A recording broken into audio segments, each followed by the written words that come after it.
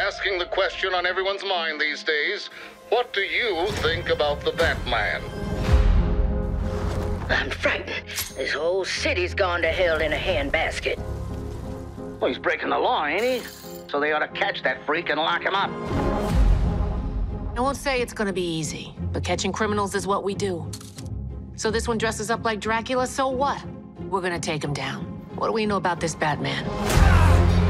He's been beating the tar out of muggers and dope peddlers out there the last few weeks. He's mostly been seen at night driving that hot rod of his 100 miles an hour. And now he's even attacking our brave police. Nice car. This man is not a hero, he's a criminal. And his time in Gotham is up. Mischief afoot, sir? Three explosions in two weeks. Peculiar. There's something more going on here.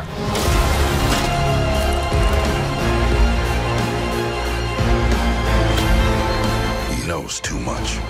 He's an itch that needs to get scratched. The kings don't run this court anymore. The jester does. Bang!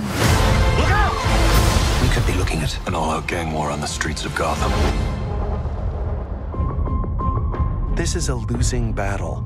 A hundred other monsters will show up to replace anyone you take down.